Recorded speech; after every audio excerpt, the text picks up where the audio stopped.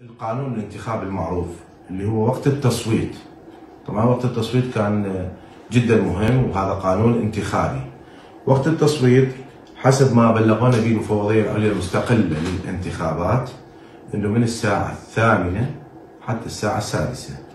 وفي بعض الأحيان قالوا إنه من الساعة 7 إلى الساعة 8 هو وقت التصويت لموظفين الاقتراع. وممكن إنه يدخلون ناخبين هم يعني ماكو أي مشكلة بالموضوع.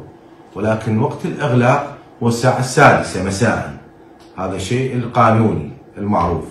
قد يكون يمدد خمس دقائق وإذا يمدد أزيد لازم بقانون أو ب بكل كل الناس تعرف فيه.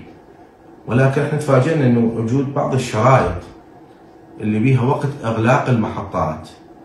هو الساعة السابعة. والسادسة والنصف والسابعة والنصف وقد يكون يوصل إلى ثمانية إلا. هسه إحنا هنا عندنا شرائط مثلا. ركز لي على هذا الشريط. وقت الإغلاق.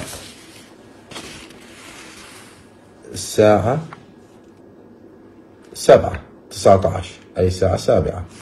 طيب نجي هنا. وقت الإغلاق. ساعة تسعة عشر وتسعة وأربعين دقيقة. طبعا ممكن أن تشوفها اللي هي موجودة طبعا كل الساعة سبعة وتسعة وأربعين دقيقة يعني الساعة ثمانية إلا عشرة. ممكن نشوف هنا هنا أيوة هذا. الساعة سبعة وتسع دقائق. إيش قد طولت وقت التصويت؟ نريد نعرف الوقت اللي استغرقته في وقت التصويت. أنا صوتت وكانت يعني الحمد لله وشكر بصمتي واضحة. استغرقت بين ثلاث دقائق إلى أربع دقائق. قد يكون اني بطيء. أسرع واحد أريد أعرف إيش قد طول استغرق بالتصويت. دقيقتين؟ طيب.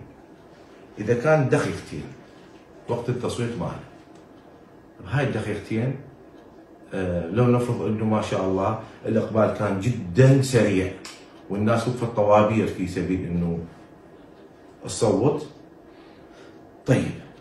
وظهرت البصمة وكلها بايومتري ما راح نقول بطاقه الكتروني ومستمسكاته كلها كاملة وسريع ويعرف يقرأ ويكتب وكان سريع بالتصويت و...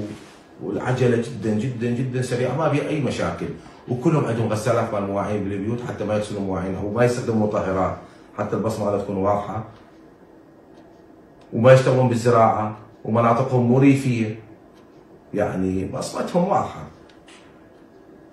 طيب إذا هنا بهيك حالة وقلنا دقيقتين شلون يصوت لنا؟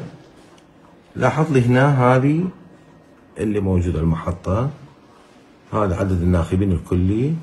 هنا عدد أوراق الاقتراع داخل الصندوق 393 ورقة.